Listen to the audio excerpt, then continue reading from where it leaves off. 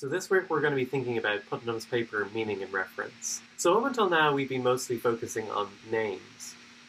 That is, expressions like David Boylan, Superman, Clark Kent, insert your favorite name. We're going to be shifting gears a little bit this week and we're going to be thinking about what are called natural kind terms. So I actually encountered these before when we talked about Mill's view. Remember, Mill said that maybe names have denotation without connotation, but there were lots of other expressions he, that he thought had both. One particular category he thought had both was these things called natural kind terms. So we're going to call use natural kind terms to refer to things like the word water, the word gold, the word share, and so on. These are going to be natural kind terms.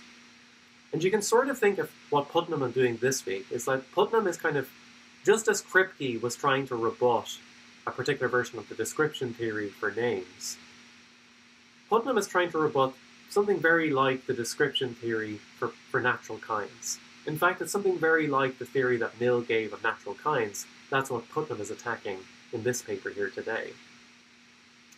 And just like Kripke gave us an externalist picture of meaning, where what our words mean is, is not to, totally dependent on the individual language users. It can be it's determined by facts outside them.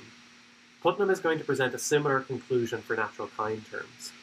He's going to say that unlike what the picture you get from the connotation and denotation picture from Mill and maybe from Frege, what your words mean is not totally dependent on just the, the sort of the, the ideas or the sense that you associate with them.